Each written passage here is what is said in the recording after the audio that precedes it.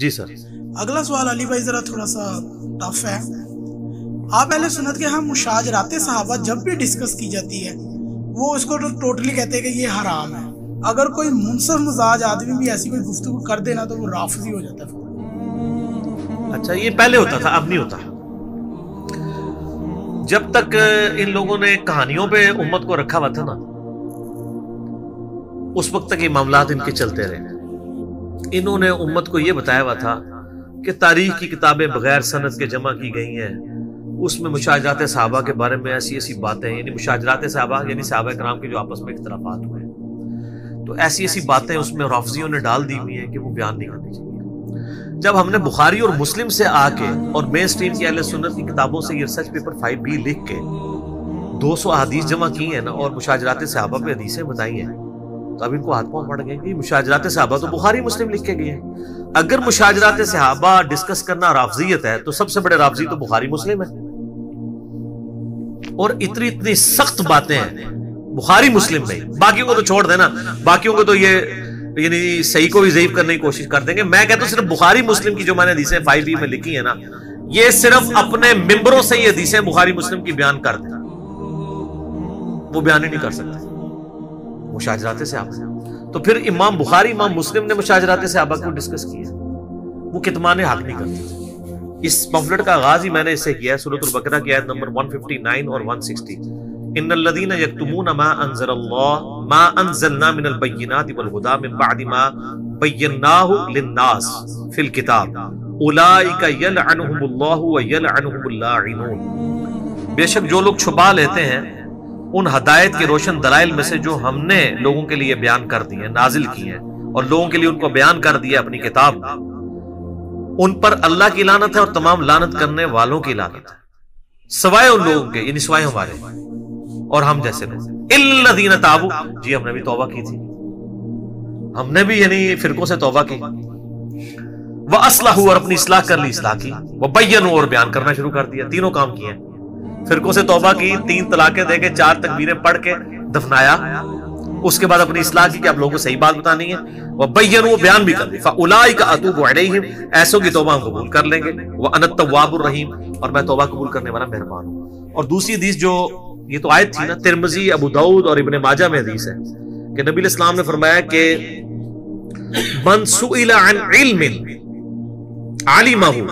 जिससे कोई ऐसी इल्म की बात पूछी गई जो उसे मालूम थी। और उसके बाद उसने उसको छुपा दिया। उल जिमा यौमल क़ियामती बिलिजामिन मिन मिन नार। तो ऐसे शख्स को आग की लगाम क्यामत के दिन डाली जाएगी कि तूने बात को छुपाई। इसमें कई एक बातें हो सकती हैं। मेरा एक क्लिप है, मौला अली इस्लाम से मुतलिक पाँच झूठ। उसमें ये कुछ सहाब कराम के इकबाल भी लेके आते हैं। और वो आउट ऑफ़ कॉन्टेक्स्ट चीज़ों को पेश करते हैं। मैंने सब कुछ उसकी इंजीनियरिंग कर दी पर फिल वक्त मैं सिर्फ़ वसूल बरकत के लिए बता देता हूँ कि ये सारी हदीसें जो मैंने जमा की हैं, वो हमारी अहल सुन्नत की किताबों में से और एज ए टॉपिक अगर आप देखें तो इमाम बुखारी, इमाम मुस्लिम के उस्ताद हैं, इमाम इबन अबी शहबा अल मुतवफ़ा 235 हिजरी। मुस्लिम शरीफ में 1500 हदीसें आउट ऑफ़ 7563 इमाम इबन अबी शहबा से। इमाम इबन शहबा इनका वो उस्ताद है, इमाम मुस्लिम का, जिससे 20 फ़ीसद मुस्लिम शरीफ रवायत है। और उसकी किताब है अल मुसन्नफ इबन शहबा जो दुनिया में सबसे बड़ी हदीस की और आसार की किताब है। उर्दू में भी आ चुकी है। ऑलमोस्ट अड़तीस उनतालीस हज़ार अहदीस और आसार है। उसका जो आखिरी चैप्टर है ना, उसका नाम ही है किताबुल जमल, जिसमें तीन बाब है। पहला बाब है हज़रत आयशा तलहा और जुबैर के काफले के बारे में, जो मौला अली के खिलाफ निकला।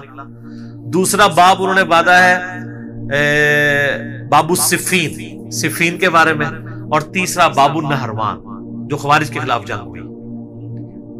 तो वो तीनों जंगे, हज़रत मुआविया के खिलाफ जंग सिफीन, खवारिज के खिलाफ जंग नहरवान, और आयशा तला और जुबैर और मजमैन के साथ जो जंग हुई, मौला अली की, जंग जमल।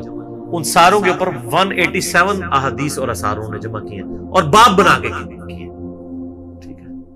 ये नहीं है कि खाली छोड़ दिया बाप बना के किए फिर ये जो कहते हैं ना हमसे वो मतलब आप इनको डिस्कस क्यों करते हैं? मैंने इस पे मेरा पहले भी क्लिप आ चुका है। यूट्यूब पे एक मिलियन के करीब ऑलमोस्ट लोग देख चुके हैं।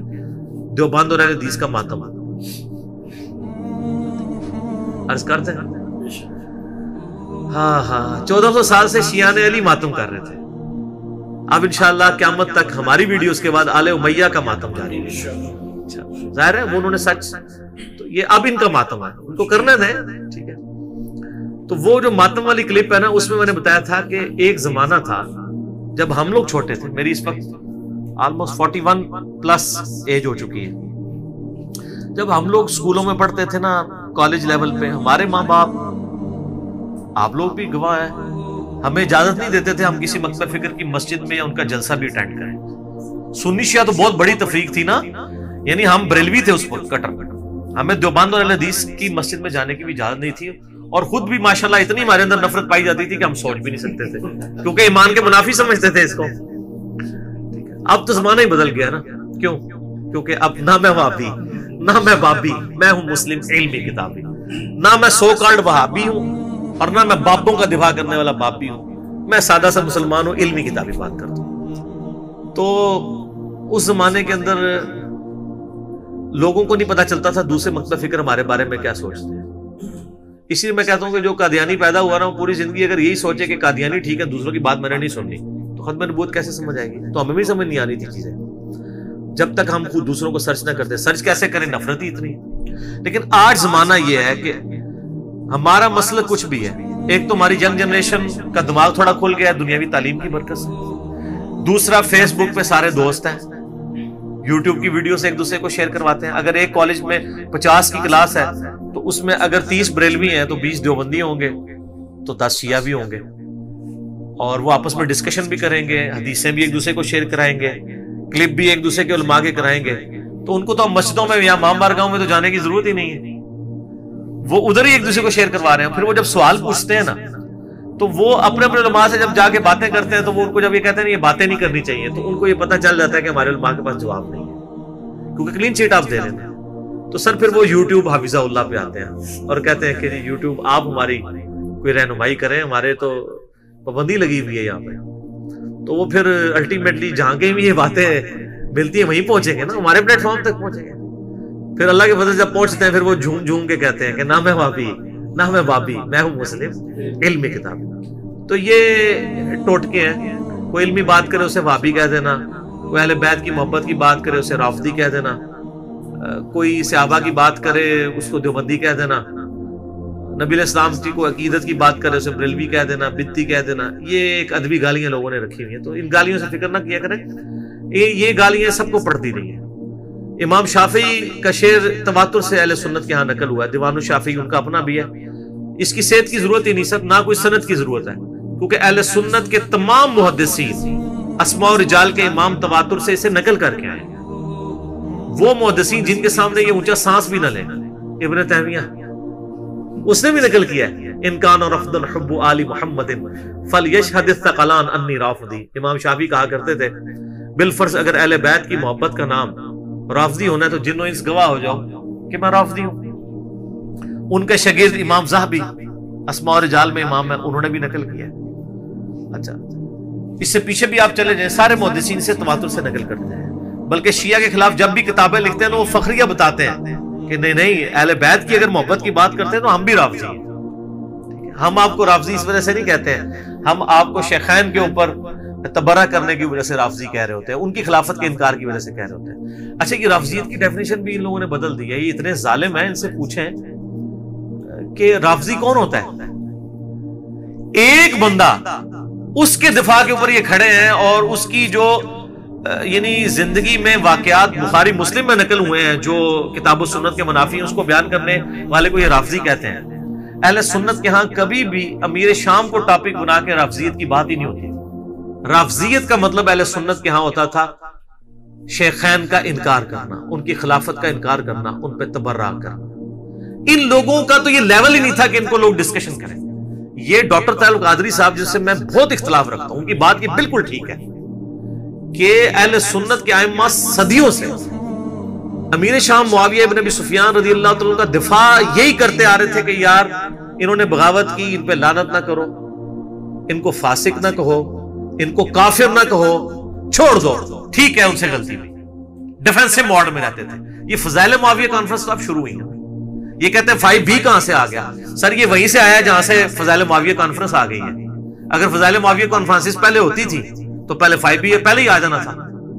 ये फाइव बी आया इसीलिए तुझी कटाया ठीक है ना? खिलाफत मलूकियत कहाँ से आई थी?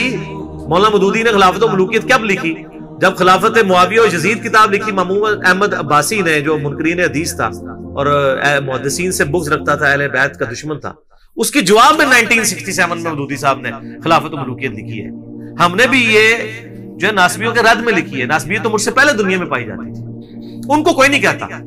डॉक्टर जाकिर नाइक ने 2009 में जब फितना उठाया, मैं उनकी बड़ी इज़्ज़त करता हूँ, लेकिन उनको किसी ने नहीं समझाया। हमने जब जवाब दिया, हमें समझाने के लिए सारे ये बाहर आ गए। क्योंकि उनको पता था वो एक टिकट में दो मज़े करना चाहते थे। कि डॉक्टर जाकिर नाइक जो कुछ कर रहा था, वो वही कर रहा था, वो जो चाहते थे। कंडेम इसलिए नहीं करते थे कि अगर हमने कंडेम किया तो हमारी पब्लिक कहेगी, वो गलत कह रहा है। हाक में इसलिए नहीं करते थे ताकि हमारे जैसे लोगों से बांट सके कि देखें हमने हाक में भी तो नहीं बात की। तो खामोशी तो है, तुम्हारे बारे में खामोशी कर लेते ना आप।